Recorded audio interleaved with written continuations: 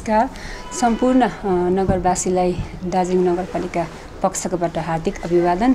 अनि विशेष आज म हजुरहरूको समक्ष किन आइरहेको छु भन्दा अहिले बिहानै अलिकति जान्नुमा आयो कि हाम्रो जिएनएलएफको भनौँ है हाम्रो आदरणीय भाइ अजय एडवाजज्यूले जुन चाहिँ एउटा प्रेसमा आफ्नो विचार पोख्नु भएको रहेछ है एउटा अपिल गर्नुभएको रहेछ कि नगरपालिकाको नगर पार्षदहरूले पनि आफ्नो मोरल जिम्मेवारी सम्झेर चाहिँ यो पार्टीबाट डिट्याच हुनुपर्छ है अब आइदर रिजाइन गर्नुपर्छ कि इन्डिपेन्डेन्ट बस्नुपर्ने रहेछ के के गर्नुपर्ने रहेछ भनेर। तर यसको चाहिँ अब एज अ चेयरम्यान म चाहिँ भन्छु कि हामीले अब यो इलेक्सन लोकली हाम्रो जिम्मेवारी हो लोकल सर्भिस दिने नगरपालिका क्षेत्रको लागि सर्भिस दिनुको लागि हामीलाई पब्लिकले दुई हजार बाइससम्मको लागि चाहिँ छानेर हामीलाई राखेको हो। यो म्यान्डेट हामीलाई दुई हजार बाइससम्मको लागि तपाईँहरू बस्नुपर्छ भनेर हामी छानेर अहिले जतिजना पनि छौँ बाइससम्मको लागि राखेको र बाइसभन्दा पछाडि त्यो इलेक्सनमा अब कसलाई राख्छ पब्लिकले? त्यो पब्लिकको इच्छा हो पब्लिकको सोच हो त्यति बेलाको इलेक्सनले त्यसलाई बताउँछ। तर अहिले हामीलाई चाहिँ बाइससम्मको लागि चाहिँ पब्लिकले राखिसकेको हो र यो अहिले जुन चाहिँ एमपी इलेक्सन र एमएलएको बाई इलेक्सन भयो। त्यो इस्यु र यो नगरपालिकाको इस्यु अलग्गै हो अनि एमपीको इलेक्सनको र एमएलएको पनि अर्कै हो र एमपीको इलेक्सन भनेको है देशको कुरा हो र हामीले सम्पूर्ण हाम्रो जति पनि अहिले भोट पाएको छ जति पनि भोट मागेको छ यो ज सबैले पनि देख्छ जाति र माटोको कुरा भन्नेमा हाम्रो मान्छेहरूको भावनामा गएर दिएको छ र म आशा गर्छु कि हाम्रो नवनिर्वाचित हाम्रो एमपीज्यूले सायद अनि बिजेपी गोरामु विमल गुरुङज्यूको सम्पूर्ण प्रयासले र त्यसमा अब हामी पनि लागि पर्नेछौँ हामी सबै भएर हाम्रो गोर्खाल्यान्डको सृजना हुनेछ भनेर हामीले आशावादी छौँ किनभने गोर्खाल्यान्ड हाम्रो सधैँको आश सधैँको सपना हो सधैँको सोच हो अनि गोर्खाल्यान्डको आन्दोलनमा लास्ट हाम्रो एक सौ पाँच दिनको आन्दोलन जहाँ लास्ट सकेको थियो यहाँ हाम्रो अलिकति वक्तव्यहरू राख्दै गर्दा। त्यति बेला पनि मै नै अब बोल्दै गर्दा लास्ट हाम्रो मिटिङ त्यही नै भएको थियो गोजामुको आन्दोलनको स्थगित भएको भनौँ है। अहिले त्यो कममा लागेको थियो पूर्ण विराम लागेको छैन र त्यति बेला पनि म त्यहाँ गोर्खाल्यान्डको लागि आवाज उठाउँदै गर्दै त्यो लाठीचार्जहरू भएर हाम्रो त्यति बेला स्थगित भएको थियो। त्यहाँदेखि यता हाम्रो कार्यक्रम भएको थिएन। र आउने दिनमा फेरि पनि हामी सम्पूर्ण जनसाधारणले गोर्खाल्यान्डकै पक्षमा प्लेन्सकोहरूले अब केमा दियो है हामीलाई थाहा छैन के इस्यु थियो उहाँहरूको। तर हाम्रो हिलकोले चाहिँ एउटा मोदीको वेब साथसाथमा गोर्खाल्यान्डप्रतिको चाहनाले नै दिएको छ र फेरि आउनेवाला दिनमा अब गोर्खाल्यान्ड हुने रहेछ भन्ने आशावादी छौँ अनि हामी पनि गोर्खाल्यान्डको लागि अगाडि आउन ज्यान दिनुपर्छ कि हामी फिजिकल्ली हुन्छ कि हामी मोरल्ली हुन्छ कि कसरी हुन्छ फेरि गोर्खाल्यान्डको आवाज उठाउनको लागि हामी तयार नै छौँ उहाँहरूले।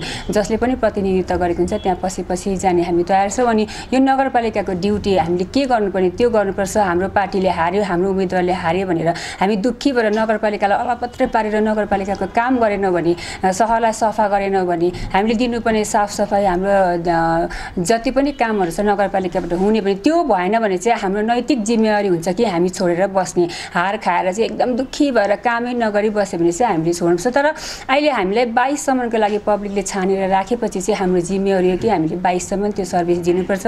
अनि त्यो सायदै त्यस्तो कतिवटै ठाउँमै भयो भयो होला। जस जसको नगर निगमहरूमा वर्चस्व छ उहाँहरूको पार्टी सायद हार्यो होला। उहाँहरू पनि त्यहाँ स्विच गर्नु त भएन उता जानु त भएन। र सबै इलेक्सनको आफ्नो आफ्नै सिग्निफिकेन्ट हुन्छ आफ्नो आफ्नै यसको इम्पोर्टेन्स हुन्छ होइन? नगरपालिका के को लागि छान्छ मान्छेले? एमएलए के को लागि पठाउँछ? एमपी के को लागि पठाउँछ? आफ्नो आफ्नै पर्पोज हुन्छ।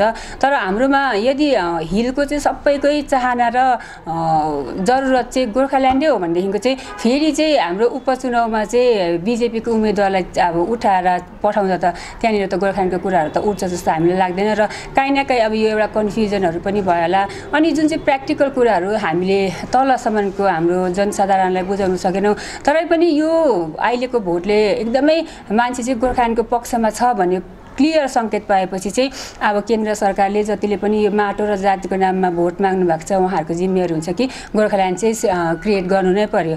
एघारवटा जात गोष्ठी दिन्छौँ भनेर भएन किनभने हामीले पहिला पनि दुईपल्ट जति पनि एमपी पठाएको थियौँ गोर्खाल्यान्डको लागि पठाएको थियौँ अहिलेको पनि मान्छेले जति पठाएको छ हाम्रो तेह्रजना दुई हजार सत्रको शहीदलाई पनि सम्झेको छ एक सय पाँच दिनको बन्द पनि सम्झेको छ अनि गोर्खाल्यान्डको वर्षौँदेखिको चाहनालाई सम्झेको छ त्यसले गर्दाखेरि चाहिँ हाम्रो एकदमै वान एन्ड ओन्ली अब सेटलमेन्ट पोलिटिकल सल्युसन चाहिँ सायद गोर्खाल्यान्डै हुन्छ जस्तो लाग्छ अनि हामी गोर्खाल्यान्ड पाउने एकदमै आशावादी छौँ। म म गोर्खाल्यान्डको लागि जहिले हामी क्लास एट पढ्दादेखि गोर्खाल्यान्डको आन्दोलनको थाहा भएको त्यति बेलादेखि गोर्खाल्यान्डप्रति चाहना छ माया छ डेडिकेसन छ अनि भोलि नैदेखि उत्रिनु पर्ने भने पनि हामी गोर्खाल्यान्डको लागि उत्रिनु तयार छौँ।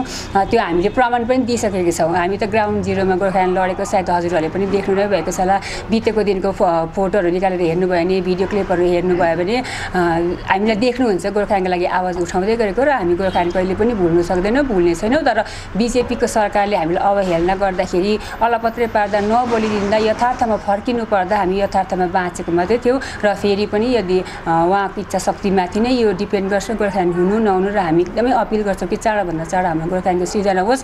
अनि नगरपालिकामा चाहिँ हामी चाहिँ नगरवासीको सेवा गर्नुको लागि हो। हामी यत्रो ठुलो रिफर्म्स ल्याउनु गोर्खाल्यान्ड नगरपालिकाले ल्याउने कुरा होइन। अनि गोर्खाल्यान्डको इस्युमा हाम्रो पार्टीले भोट हाल्दाखेरि चाहिँ हामी निस्किनु पर्ने हामीले हाम्रो नैतिक जिम्मेवारी चाहिँ त्यो हो कि हामीले नगरवासीको सेवा गर्नु पऱ्यो अनि हामी हारेर पनि हताश भएको छैनौँ र इलेक्सनको रिजल्टको भोलिपल्टैदेखि नै म आठ बजीसम्म पनि अफिसमा नै थिएँ। हामीले काम गरिरहेको छौँ। हामी अहिले पनि अफिसमा नै छौँ। हामी हाम्रो नैतिक जिम्मेवारी भुल्ने छैनौँ। हाम्रो नैतिक जिम्मेवारी हो नगरवासीको सेवा गर्नु। र म यति नै भन्दै हजुर सम्पूर्ण नगरवासीलाई एकदमै आश्वस्त बनाउन चाहन्छु। किनभने मलाई थुप्रै फोनहरू आइरहेको थियो नि त। अघि नगरवासीबाट तपाईँहरू सबैले रिजाइन पो गर्नुहुन्छ अरे। तपाईँहरू बस्नुहुन्छ अरे। किन बस्नु भएको तपाईँहरू त राम्रै काम गर्नुहुँदैछ त। म्युनिसिपालिटीले गर्नुपर्ने सर्भिस। दिइरहनु भएको छ तपाईँहरू चाहिँ किन रिजाइन गर्नुहुन्छ भन्दै कुराहरू आउँदा चाहिँ मलाई हामीले त्यस्तो केही कुरा गरेको छैन भन्दाखेरि चाहिँ त्यही हाम्रो आदरणीय भाइको त्यो प्रेसको हिजोको कुराहरूको निकाल्नु हुँदाखेरि चाहिँ मैले म प्रायः लोकल च्यानलहरू पनि हेर्दिनँ न्युजहरू पनि त्यति पढ्दिनँ। म नगरपालिका नगरवासीको सेवा गर्नु नै म प्रायः नगरपालिका काममै बिजी भएकोले गर्दा म प्रायः न्युजहरू पढ्नु भ्याउँदिनँ। अनि चाहिँ यस्तो यस्तो कुरा आएको छ भनेर सुन्दा चाहिँ फेरि मैले अचानकै जस्तो सुनेँ त्यस्तै मैले यहाँ प्रेसमा फोन गरेर चाहिँ म यहाँनिर अलिक नगरवासीको सामनेमा हाम्रो कुराहरू राख्नु भएको कोही कन्फ्युजन नभइदिने हामी रिजाइन गर्नेवाला हामी छोड्नेवाला केही पनि छैनौँ हामी डिट्याच हुनेवाला पनि छैनौँ। अनि हाम्रो पार्टी हार भन्दै भन्दैमा फेरि पार्टीलाई छोडिराखेर हामी यहाँ बस्ने त्यस्तो खालको सोच राख्नु भएन। यति हो हामीले चाहिँ पार्टीले आफ्नो काम गर्दै गर्छ। हामीले नगरपालिकाको नगर पार्षद नगर पार्षदले नगरपालिकाको काम गर्नुपर्ने छ। हामी त्यो गरिरहेछ हाम्रो एब्सेन्समा कसैलाई रेसिडेन्सियलको दुःख नहोस् कसैलाई इन्कम सर्टिफिकेटको दुःख नहोस् काहीँ मैला थुप्रेर यति नहोस् काहीँ नाली ब्लक भएर प्रब्लम नहोस् हाम्रो जिम्मेवारी त्यो हो अनि हामी त्यो गर्नुको लागि एकदमै समर्पित छौँ अगाडि छौँ हामी काम गरि नै रहनेछौँ र नगरपालिकाको कामको हेतु अरूलाई तपाईँहरूलाई पनि केही गर्नु गर्नुपर्ने सुझावहरू छ भने हामीलाई डाइरेक्ट फोन पनि गर्न सक्नुहुन्छ। हजुरहरूले सुझाव पनि राखिदिनु हुने म विनम्र निवेदन टक्राउँदै हामी चाहिँ एकदमै नगरपालिकाको काम गर्नुको लागि अगाडि बढिरहेको छौँ बढिरहेछौँ दुई हजार बाइससम्म हामी यसरी बस्दै नै छौँ र बाइसको उता जसलाई म्यान्डेट दिएर राख्छ त्यो हामी स्वीकार गर्नेछौँ। थ्याङ्क यू तपाईँहरूलाई के अरे वार्ड कमिसनरहरूलाई चाहिँ रिजाइन गर्नु या त चुपचाप बस्नु भन्ने टाइपको जुन चाहिँ आह्वान गरिरहेको छ अपिल गरिरहेको छ। यो विषय लिएर तपाईँहरूको कोही पनि एकैजना पनि के अरे वार्ड काउन्सिलर वार्ड कमिसनरको पनि पार्टीबाट अलग हुने बाहिर छोड्ने माने रिजाइन गर्ने त्यस्तो त्यस्तो मूलमा कोही पनि छैन। छैन त्यस्तो छैन। किनभने हाम्रो काम त काहीँ न काहीँ हामी पार्टीको क्याडर हो पार्टीलाई बलियो बनाउने जिम्मेहरू तर नगर पार्षद नगरपालिकामा पठाएपछि हजुरहरूले पनि अब त्यो त एक्सेप्ट गर्नुहुन्छ नि हामी त नगरपालिकाको काम गर्नुको लागि गएको हो नि त नगरवासीको काम गर्नुको लागि गएको हो नि। तर अस्ति एक सय दुई हजार सत्रमा हाम्रो बोर्ड इलेक्ट भएर पनि बस्नु नपाउँदा कति दुःख पाएको थियो। अन्त अहिले राजीनामा दिएर अलपत्रै गर्दा त फेरि नगरवासीलाई दुःख हुनुभयो नि त। अन्त गोर्खाल्यान्ड त कहिले हुँदै गर्छ के हुँदै गर्छ त्यो जोसमा हामी अलपत्रै पारेर त नगरवासीलाई अलपत्रै पार्नु त भएन नि त। त्यसले गर्दाखेरि हाम्रो त जिम्मेवारी हो नगर वार्डवासीले हामीलाई किन पठाएको भन्दाखेरि चाहिँ हामीलाई गोर्खाल्यान्ड ल्याउनु पठाएको होइन। तर हामीलाई गोर्खाल्यान्डको माया लाग्छ हामी गोर्खाल्यान्ड प्रेमी हो। त्यसले गर्दा चाहिँ गोर्खाल्यान्डको आन्दोलनमा फेरि हामी सबै छोडेर गएको चाहिँ हौँ। हामी गएका हौँ।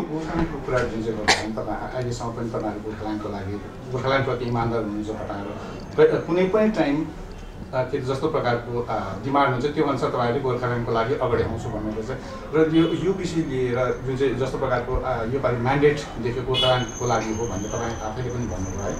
यसको लागि अब पार्टीको नेतृत्वहरूलाई प्रेसर दिने कस्तो प्रकारको अगाडि बढाउने यो डिमान्ड लिएर के के सोच म त अब गोर्खा जनमुक्ति मोर्चाको एउटा सिम्पल क्याडर मात्रै हो र हाम्रो शीर्ष नेतृत्वहरूले सायदै यो माथि सोच्नुहुन्छ होला। हामीले त बुझ्यौँ भनेपछि त हाम्रो नेतृत्वले बुझ्नुभयो। अनि गोर्खाल्यान्ड साथसाथै हाम्रो मान्छेहरूको त्यो भावनामाथि जसरी खेल्यो तर त्यो खेल्नु चाहिँ पाउनु भएन। दुईपल्ट हामीले हामीमाथि खेल्यो र पहिलाको दुईपल्टमा त मैले पनि भोट दिएको हो। योपालि मैले भोट दिइनँ अहिलेको एमपीलाई होइन? तर पहिला त दिएकै हो हामीले र योपालि चाहिँ हामी चाहिँ प्र्याक्टिकल भएर सोचेर चाहिँ नदिएको हो नि त। तर यो बुझेपछि चाहिँ हाम्रो पार्टीको नेतृत्वले फेरि हाम्रो पार्टीको नेतृत्वको मनमा पनि गोर्खाल्यान्ड त छ नि त तर दुई हजार सत्रमा जस्तो प्रकारले हामी अलपत्रै भयो बिचल्नी भयो हाम्रो जेलमा कति थियो? तपाईँहरूलाई मलाई भन्दै बेसी याद छ किनभने तपाईँहरू मिडियामा हुनुहुन्छ है। उहाँहरूलाई निकाल्नु पऱ्यो नि त। अब गोर्खाल्यान्ड अहिले पनि भएको छैन। गोर्खाल्यान्डको क्रिएसनको केही कुरा छैन। यति नै उहाँहरूलाई जेलमै छोडिदिनु थियो हामीले। तपाईँहरू आफै सोच्नुहोस् त हाम्रो यहाँ महिला थुप्रेर कस्तो भइरहेको थियो हामी त्यतिकै छोडिदिनु थियो त। र त्यसले गर्दाखेरि त हामी त प्र्याक्टिकल भएर काम गर्नुपर्ने थियो नि त। र गोर्खाल्यान्डको लागि अहिले पनि म अहिलेदेखि नै स्टार्ट हुन्छ भने म एकदम अहिले नै रेडी हो। त्यो चाहिँ मैले चाहिँ त्यसै भावनामा बगेको होइन। मैले प्र्याक्टिकली प्रुभ गरिसकेको छु कि म चाहिँ गोर्खाल्यान्डको लागि कति डेडिकेटेड छु अनि मैले भन्दै थिएँ छ्यासीमा हामी क्लास एट पढ्दादेखिको चाहिँ गोर्खाल्यान्डको लागि अगाडि आएको गरेको छ्यासीको सुभाष घिसिङज्यूको नेतृत्वको आन्दोलनमा पनि हाम्रो योगदान छ। अनि दुई हजार सातदेखिको सत्रसम्म पनि छ। त्यहाँदेखि यता त कसले पनि गरेको छैन। भोट माग्दा गोर्खाल्यान्डको कुरा गरेको छ। मान्छेलाई उल्लु बनाएको छ। प्र्याक्टिकली यदि फिल्डमा गोर्खाल्यान्डको आन्दोलन हुन्छ भने फेरि हामी रेडी नै छौँ। अहिले रेडी छौँ। जति ट्वेन्टी फोर इन्टु सेभेन जति बेला पनि हामी रेडी नै छौँ। जस्तो प्रकारको म्यान्डेट तपाईँहरूको एकदमै नेगेटिभ साइड गयो है। भने यसको क्लियर के अरे यसको खास कारण के हो तपाईँको त्यसले गर्दा तपाईँ पार्टीको नेतृत्वहरूलाई के सुझाव दिनुहुन्छ? कस्तो प्रकारले अगाडि बढ्ने सुझाव दिनुहुन्छ? म त मेरो सुझाव राख्नु पर्दाखेरि चाहिँ हामीले चाहिँ यो यथार्थको कुराहरू हामी भावनामाथि जित्नु भने चाहिँ प्रायःले त अब मनबाट सोच्छौँ नि त हामी त हृदयको त कुरा गर्छौँ हृदय छुने कुरा हृदय छुने होइन हार्ट टचिङ सेयिङ भन्छौँ र हार्टलाई मात्रै छुइरहेर चाहिँ मान्छेलाई चाहिँ कामले प्र्याक्टिकल कुराहरू चाहिँ बुझाउन हामीले सकेनौँ। हामीले एक एकवटा भोटरलाई चाहिँ यो कुरा चाहिँ प्र्याक्टिकली यो हामीले चाहिँ बुझेर चाहिँ ए अरूले पनि बुझ्यो भन्ने चाहिँ सोच्यौँ। तर यथार्थ कुराहरू हामीले बुझाउन सकेनौँ चाहिँ अब हामी ग्रास रुटदेखिको एक एक एकजना हाम्रो म गोर्खाको विषयमा मात्रै पनि भन्दिनँ हिलमा जति पनि बस्छ सबैले नै हामीलाई कोअपरेट गरेको हो नि त। यो हाम्रो एकदमै कम्युनल कुरा होइन नि। हाम्रो रिजनल प्रब्लम हो। म त अस्ति पनि भन्दै थिएँ हाम्रो रिजनल प्रब्लम हो। यो रिजनमा पर्ने सबैलाई नै हामीले चाहिँ बुझाउनु सक्नुपर्ने रहेछ। चाहिँ हाम्रो इस्यु यो हो र यसरी हामीले अगाडि बढ्नुपर्छ। यसरी हामीलाई लन्डायो। तर अब चाहिँ हामी बोल्नु सक्नुपर्छ। यो पाँच वर्षमा चाहिँ हामीले लन्डिनु हुँदैन। हामीले पर्पोज यो पर्पोज चाहिँ हामीले चाहिँ यो भोट दिएको चाहिँ जति पनि पाए एकदमै हाई मार्जिनमा जानुको मतलब चाहिँ अझै गोर्खाल्यान्डको हामी चाहना छ भन्ने बुझाएको हो नि त एघारवटा जात गोष्ठी देऊ भनेर भोट दिएको होइन है।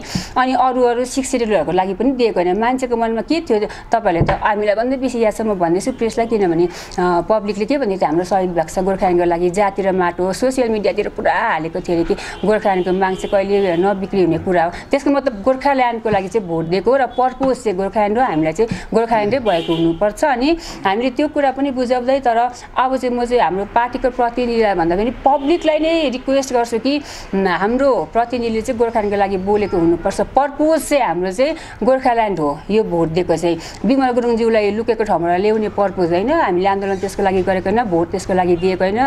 हराइसकेको गोरामुलाई फेरि उठेर हामीलाई के के के त्यो उठाउनुलाई भोट दिएको होइन। बिजेपीको जुन चाहिँ अहिले त्यो नेसनल वेब छ त्यो वेबलाई चाहिँ यहाँनिर एकदम राख्नु बिजेपी फेरि यहाँ चाहिँ रिजनल पार्टी चाहिँ बिजेपी भएर उठोस् भन्नुलाई पनि हाम्रो पब्लिकले भोट दिएको होइन। हाम्रो पब्लिकको भोटको एउटै हो वान एन्ड ओन्ली पर्पज हो गोर्खाल्यान्ड। र चाहिँ हामीले चाहिँ पब्लिक पब्लिक अवेर हुनुपर्छ। हाम्रो पार्टीको प्रतिनिधि चाहिँ अवश्य नै हामीभन्दा धेरै सोच्ने हुनुहुन्छ। हामीभन्दा धेरै ज्यादा एक्सपिरियन्स हुनुहुन्छ। हामीलाई उहाँ हामी उहाँहरूलाई सायदै हाम्रो सुझाव चाहिँदैन पनि होला। उहाँहरूले स्ट्राटेजी बनाउनु हुँदै होला। तर म चाहिँ जनसाधारणलाई चाहिँ एकदमै जागरुक भइदिने निवेदन गर्दछु। अनि यो जुन चाहिँ भोट हाल्नु भएको छ हालिसकेर पनि आफूले गरेको कामहरूलाई फेरि एकपल्ट एनालाइज हामीले सधैँ पनि गरेपछि एनालाइज गरेर हेरिदिने। अनि अरू कुरामा नलन्डिएर चाहिँ खालि गोर्खाल्यान्ड गोर्खाल्यान्ड गोर्खाल्यान्ड भनेर चाहिँ हाम्रो एमपीलाई चाहिँ हाम्रो यहाँ कोही पनि नमरी यहाँ कोहीले केस पनि नखाइ कोही जेलमा पनि नपरी कसैको एजुकेसन पनि नबिग्री कसै बेकारी पनि बेकारी बेकारीको बेकारी नभइकन चाहिँ गोर्खाल्यान्ड चाहिँ हामीले पाएको हुनुपर्छ भनेर चाहिँ हाम्रो पब्लिकले चाहिँ आवाज उठाउनु सक्नुपर्छ भनेर चाहिँ म चाहिँ जनसाधारणलाई चाहिँ सुझाव राख्न चाहन्छु। हाम्रो पार्टीको प्रतिनिधिहरू एकदमै अब सचेत भइ नै सक्नु भएको छ हेर्नु भएको छ। तर पनि जति पनि भोट भयो त्यो चाहिँ प्र्याक्टिकल भोट हो। कल्पना र भावनामाथि यथार्थको जितको भोट हो र त्यो त्यतिजना मान्छे जसले चाहिँ प्र्याक्टिकली भोट दियो उनीहरू चाहिँ अगाडि आएर चाहिँ दसैँजनालाई सम्झायो भने पनि इच एन्ड एभ्री भोटरलाई इच एन्ड एभ्री जनसाधारणलाई चाहिँ हामी एजुकेट गराउन सक्छौँ भन्ने हामीमा त्यो पनि एउटा नयाँ जोस आएको छ त्यो एउटा हामीलाई शिक्षा पनि पाएको छौँ।